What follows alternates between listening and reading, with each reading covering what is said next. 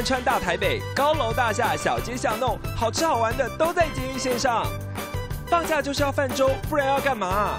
但你知道在台北哪里有安全又不怕风雨的泛舟好去处吗？喜欢吃披萨和寿司的人就过来，创意料理披萨寿司颠覆你过去对美食的想象力，两种美味一次满足你。爱喝咖啡的你知道吗？一杯好的咖啡就像音乐一样，有高中低音频的分别哦。今天我们就跟着查理和 Ruby 一起来懂子懂子懂子，感受坚持的感动哦。大家好，我是 Ruby。大家好，我是查理。哎，查理，你今天约我出来说会玩很好玩的东西，到底是什么？这超级无敌霹雳好玩的哦。好玩，OK，我知道了，我们要玩的是篮球。哎呀，哈，不是，不是，那我们要玩的是足球。哈，哈，也不是，不是，你约人家出来都不是，你要玩苦苦哀求。我的开心模式，不是啦，也不是苦苦哀求啦。这到底什么？好了，给你一个提示，这个活动呢跟这个动作很像哦。Oh my god，查理，我一直都想玩这个，我不晓得台湾可以玩哎。你没玩过吗？我们今天要玩的就是斗牛。啊！没没，不是啦，也不是斗牛啦，一定是我表演太烂让你误会。不会啊，我觉得你表演超好的，你的牛好生动哦。啊，谢谢你哦。好啦，其实我今天要带你去参加的这个活动呢，其实是跟坚持的感动有关。坚持的感动，怎么听起来那么抽象？先玩再说啦。好，那所以就要拿出你的坚持跟感动，跟着我们一起动吃动吃动吃动吃动吃动吃动吃动吃动吃动吃，一起出发吧。那我们要约哪一站？小巨蛋站。OK，Go Go 捷运，Let's go。搭乘捷运松山新店线到台北小巨蛋出口二，到了南京敦化路口往左转，顺着敦化北路直走，看到运动场后再左转八德路，走不到一分钟就到喽。查理，原来你刚刚比的这个动作不是斗牛，是泛舟哦。不过这真的蛮有趣的，我没想到在这边也可以泛舟。我告诉你，来松山运动中心就是要来泛舟，不然要干嘛？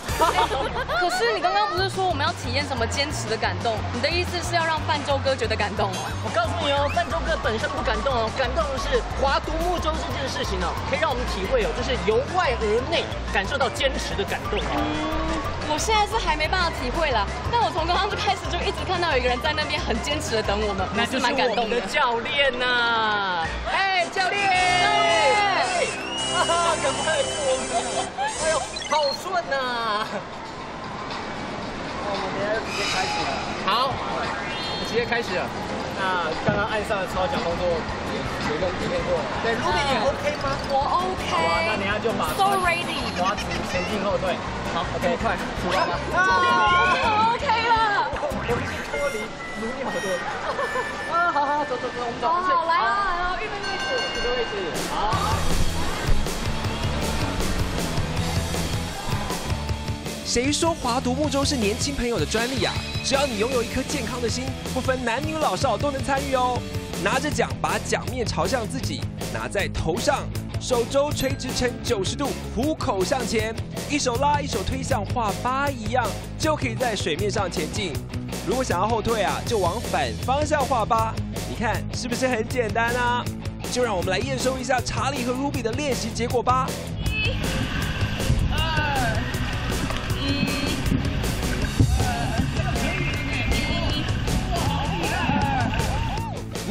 看起来两个人似乎表现得不错哦。呃，这这好像话说的太早了耶。两个人除了技术有待加强之外，默契可能也要砍掉重练了。你们到底想滑到哪去啊？把独木舟当成碰碰车来玩了吗？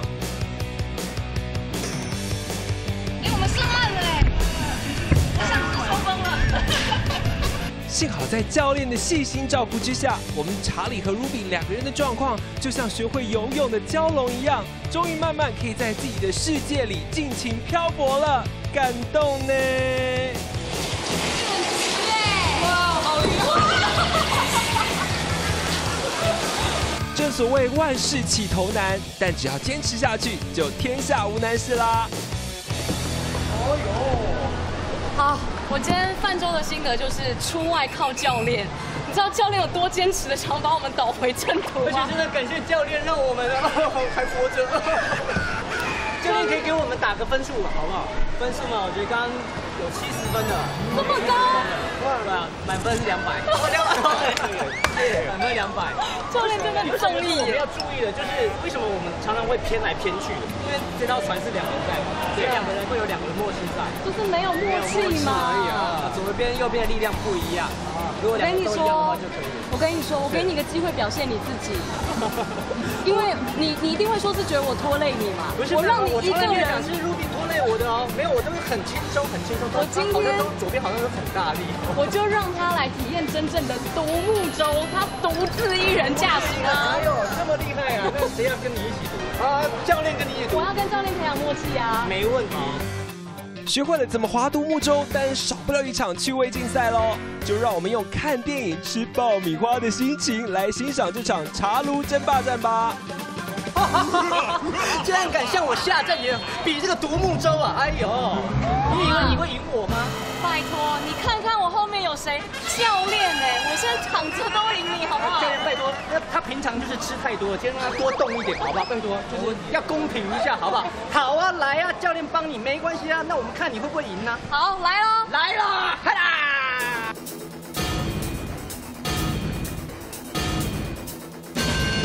茶炉争霸战比赛开始，哎，这比赛才一开始，我们的选手查理就触礁了。这时查理口中不断发出哀嚎声。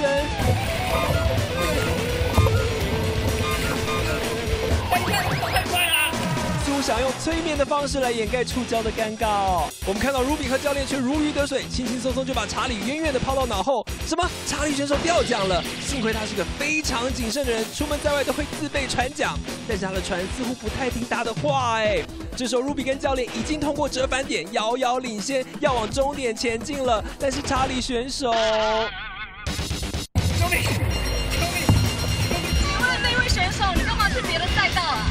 到底是在跟谁比赛啊？不知不觉就演变成查理跟自己内心的对抗了。让我们回到正规比赛现场，Ruby 跟教练团结合作，拿下冠军。好，很不好意思，但是我们取得了压倒性的胜利耶！好啦，胜不骄败不馁，教练，你看他，他有多气馁的样子，我们还是救他一下啊！我来了，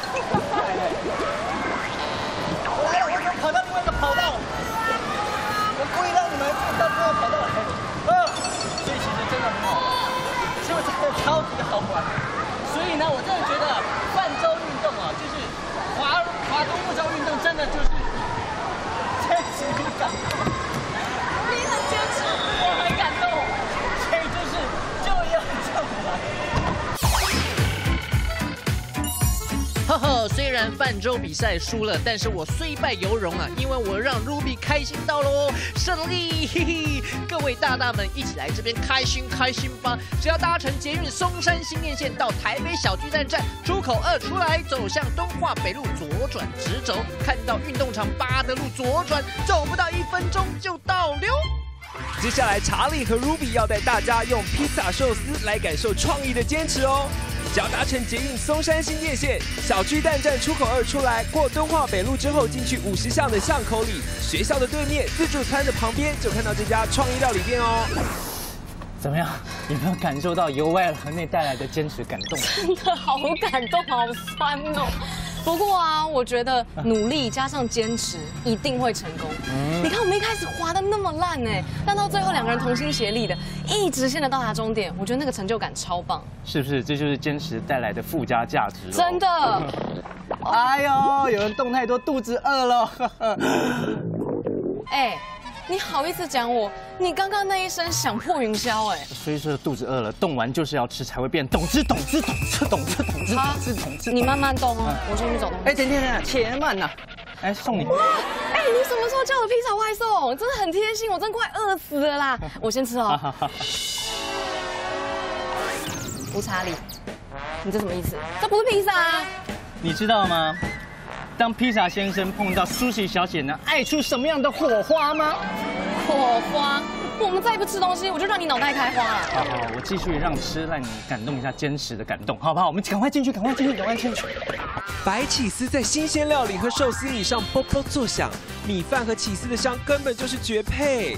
老板志龙啊，因为大学时听了一堂创意逻辑与思考的课，以居酒屋老妈的日本料理学习当做基础，开创出属于自己的创意披萨寿司。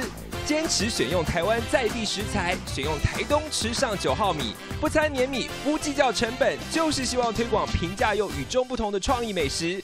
我们赶快来吃看看吧！原来这就是你刚刚说创意的火花苏西披萨。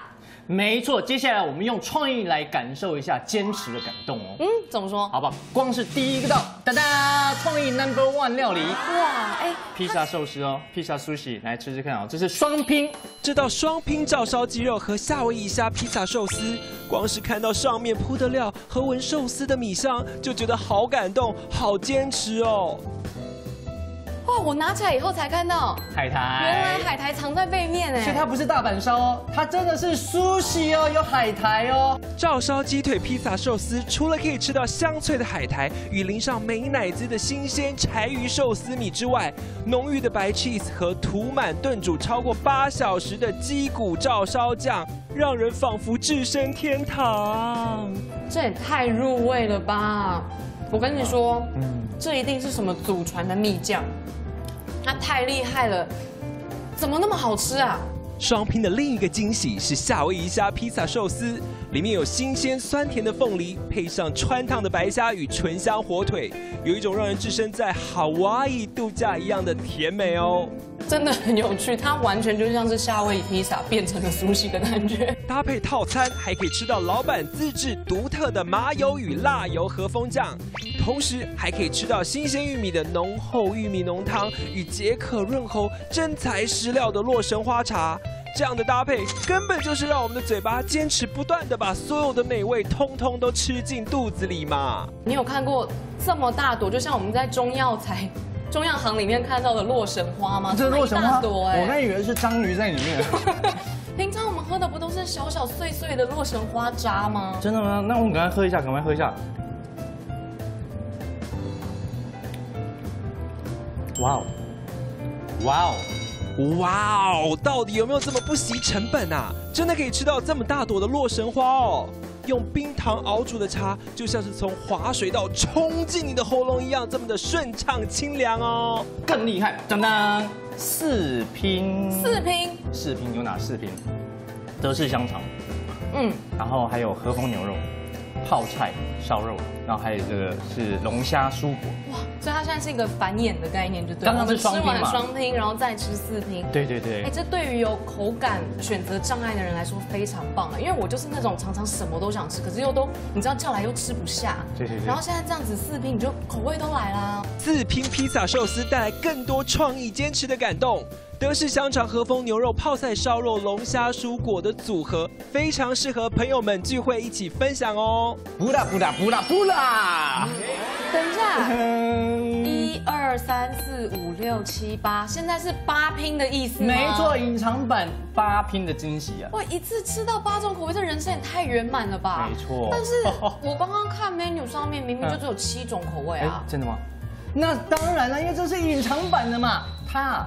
其中有一个第八种口味是 menu 上没有的哦，OK，而且它是素的，而且它是日式胡麻酱做的哦。日式胡麻酱，再来看是哪一个？胡麻酱，哪一个是你没吃过的？就它，它长得很特别。哎呦，那那那我我来吃好不好？好啊，你吃吃看。见证奇迹的时刻来临哦！哎呀，哇！怎么样？变成胡麻酱了。哦，我要讲，我发现日式胡麻酱的口感跟一般的那种麻那个各种的酱的口感是不一样。为什么？它刚好是蔬菜，然后不知道为什么就配到恰到好处呢？看查理的表情就知道他完全不敢相信，简单的胡麻酱做出的素寿司竟然能不输给其他配料的荤寿司。隐藏版的八拼寿司不是每个人都吃得到哦，只有在生日等特定假日，老板才会送给你这个特别的生日礼物哦。再来是意式鲑鱼寿司，烤过酥脆的鲑鱼松与真材实料的烤鲑鱼，再加上充满意式白酱的新鲜玉米生菜，通通都包覆在新鲜池上九号米里，再拿去烤，根本就是美味破表嘛！经过讨论，我们一致决定，本店最推。新鲜美味又充满创意的料理，加上亲民的价钱，Ruby，你应该有感受到小弟查理我的用心吧？哈哈，各位大大们，一起来这边吃独特的披萨寿司吧！吃了保证你也会爱上哟！只要搭乘捷运松山新店线小巨蛋站出口二出来，过敦化北路进去五十号的巷口，看到一个学校的对面就是喽。有喝过质感像音乐一样多频率的好咖啡吗？让我们一起去闻咖啡香。只要搭乘捷运松山新叶线到小巨蛋出口五，左转进入健康路，走到一分钟之后，就会看到一个熊头 logo 的美式咖啡店哦。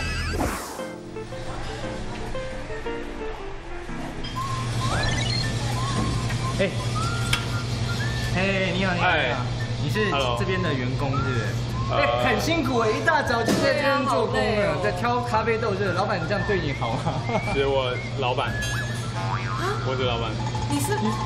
哎呀，老板真是很厉害，一大早就精神抖擞，跟自己弄咖啡豆，难怪这家店会好。人家青年才俊，你刚刚说那是什么？哎，对对对，所以哎，老板怎么称呼啊？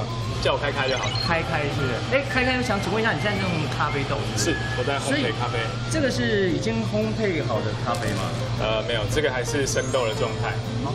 生豆状态要经过一个烘焙过程，它才会变成咖啡豆现在的颜色。原来要做一杯好喝的咖啡，得先把不好有瑕疵的咖啡豆一颗一颗细心挑出来。从咖啡豆进入烘焙机之后呢，你就必须像照顾自己的孩子一样，一直到看着它长大成人，一分一秒观察它颜色的变化和温度的提升。烘焙一次就要六到八小时哦，所以烘焙出好喝的咖啡，就像认真写一个孩子的成长日记一样重要。请问一下，开开，新国国小有知道他的课桌椅在这里吗？对啊，新国国小。对啊，为什么会拿国小的椅子在店内？基本上，因为我为了开家店，其实很常去到处捡东西啦。嗯，朋友都说我去捡破烂。自己捡破烂。主业是捡破烂，没有，主业是做咖啡的。哦，兴趣捡破烂。捡破烂捡到开家店，这也太厉害了吧！捡出一个未来。老板开开把自己比喻成有阿拉斯加棕熊捡垃圾桶的精神，专门在世界各地旅行，把他觉得有历史温度的宝物捡回来收藏。像是店内的窗框柜，也是从台南安平眷村捡的。各地只要具有纪念性的车牌和牌子，他也不放过。同时，开开也是黑白相机收藏达人。店内摆设的二十几台，还只是他收藏的冰山一角哦。嗯，有没有感受到这里的音乐的魅力啊？有啊，I'm grooving，是不是？你看，马上醒来了哈。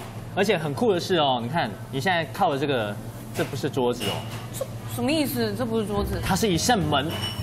哦，所以你说这个也是开开去捡破烂捡回来的捡回来的，然后再赋予它新生。而且你看这个这个抽面这个地方。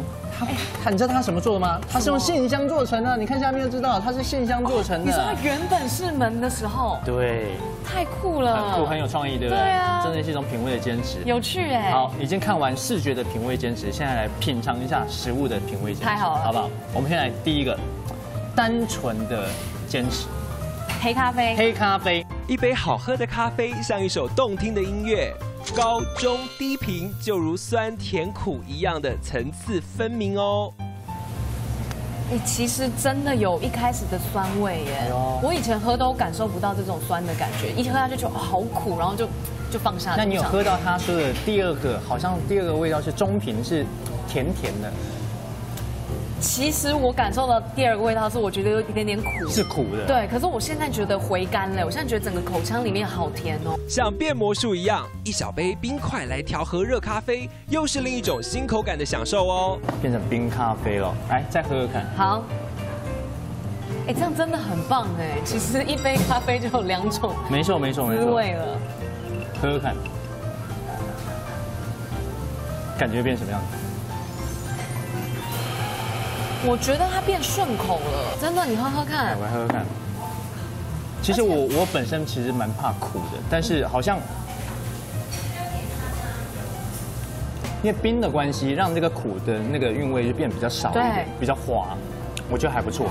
所以其实这样喝，哇，其实就两种口感，对不对？有些人就直接点冰就就少了就少掉热这个啦，对对对可惜了。开开形容黑咖啡有如美丽的素颜女孩，而花式咖啡就像是化了妆的少女，更加美丽动人。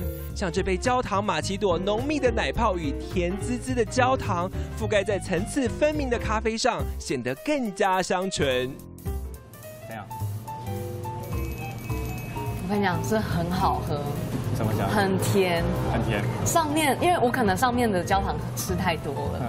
但是我觉得它跟咖啡综合在一起以后，它的韵味真的很棒。所以让不敢喝咖啡的你，是不是就变得更敢？不敢喝咖啡的就会爱上它。店内的另一个招牌亮点就是好吃不弹牙、外脆内软的纯手工 bagel 和充满各种生活态度的多口味自制 bagel cream cheese 酱，每次都会不定期推出新的 bagel 酱哦。这好像一锅意大利蔬菜汤，哎，熬煮了一天一夜以后，完全的浓缩在一起。所以它的口感是咸的。它口感是咸的，然后就像意式蔬菜浓汤一样，没错，这个就是意式番茄。哎很有趣哎。除了有 cheese 嚼劲和浓郁口感的意式番茄外，入口即化又充满创造力的巧克力 Oreo，还有结合伯爵茶和炼乳香的伯爵奶茶酱，一入口是芥末香，吃完感受到蜂蜜甜味的蜂蜜芥末，都是大家不能错过的好口味哦。来这里享受一个舒适的下午茶，感觉人生又变得更正面了。经过讨论，我们一致决定，本店最推。哦，原来喝咖啡还有高中低频之分呢、让我们不敢喝咖啡的 Ruby 又再度爱上咖啡的美味喽！哈嘿，等以后约他出来喝咖啡都能成功喽！嘿呀，喜欢咖啡和 bagel 的大大们千万不要错过这里哟！你只要搭乘捷运松山新店线到小巨蛋出口五左转进入健康路，走不到一分钟，你就会闻到咖啡香喽！噔噔，这个隐藏版的周年庆活动很酷啊！对啊，每年六月到八月这边的特定活动，免费帮你寄哦。对啊，不管你写到北极给圣诞老公公，店家也帮你寄哦。好，我们赶快投，赶快投，赶快投。耶！以后，所以呢，我说 Ruby 啊，今天带你来感受这个坚持之旅，有没有什么收获？有啊，从今天早上开始，你看我们的独木舟之旅，体力的坚持，没错。然后刚刚的米饭寿司，那是创意的坚持，对。还有现在我在这个空间里面享受到品味的坚持，呃，品味的坚持，请问跟你现在本人这个动作，所以就是要问你了，所以下次再找你出来约会，会不会再出来？哎，下次再告诉你喽。好好，没关系，下次我带你去更厉害的地方，去动吃、懂吃、懂吃、懂吃、动吃、动吃。那我们动吃下次见喽好，我们下次见喽，拜拜。